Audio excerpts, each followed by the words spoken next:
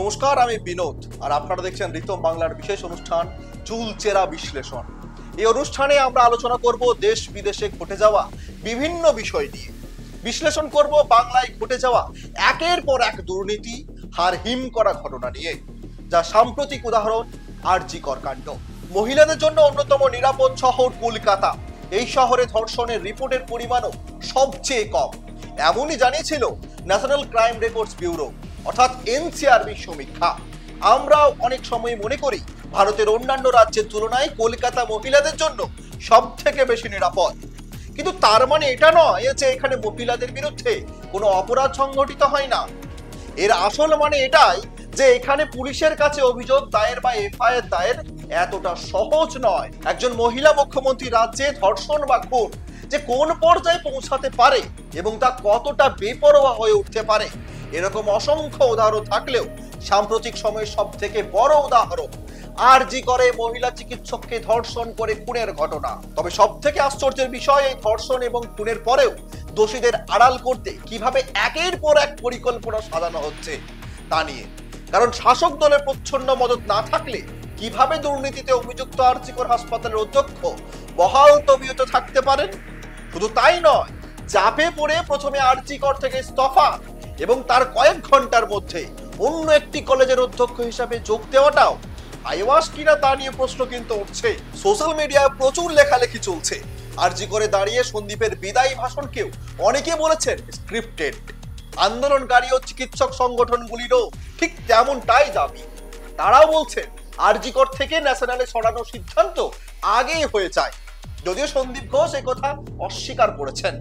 অন্যদিকে আন্দোলনকারীদের বক্তব্য কারোর কোনো ব্যক্তিগত স্বার্থ কায়েম করতে এমনটা করা হলো এক্ষেত্রে উঠে আসছে উত্তরবঙ্গ লবির কথাও।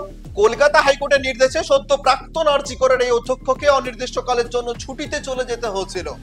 হাসপাতাল তথা সন্দীপ ঘোষের ভূমিকা নিয়ে বিস্তর প্রশ্ন তুলেছেন আন্দোলনরত চিকিৎসকেরা।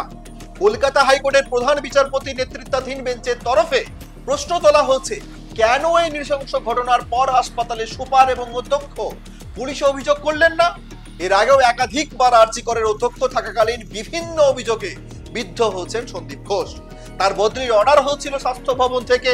অথচ কোনো এক অজানা কারণে সেই অর্ডার পত্রপাঠ বাতিল হয়ে যায় রাতারাতি। তবে সম্প্রতি আর্জি করে যে ঘটনা ঘটে, তার পরিপ্রেক্ষিতে চেয়ার ছাড়তে হয় সন্দীপ ঘোষকে। এদিকে হাইকোর্টের নির্দেশে আর্জি করে ডাক্তারি পড়ুয়াকে ধর্ষণ ও খুনের মামলা তদন্ত করছে সিবিআই। আর্জি করে প্রাক্তন অধ্যক্ষ হিসাবে তাকে জিজ্ঞাসাবাদের মুখে পড়তে হতে পারে। এই আশঙ্কায় আগে ভাগেই পুলিশি নিরাপত্তা পেয়ে কলকাতা হাইকোর্টে দ্বারস্থ হয়েছেন আর্জি করে সদ্য প্রাক্তন অধ্যক্ষ সন্দীপ ঘোষ। কিন্তু তার আগেই এই মামলায় জেরার জন্য তলব করা হয় সন্দীপ ঘোষকে। আর তারপরেই রাস্তা থেকে তুলে নিয়ে যাওয়া হয় সিডিও কমপ্লেক্সে। শুক্রবারের পর শনিবারও ম্যারাথন জেরা করা হয় সদ্য প্রাক্তন অধ্যক্ষকে।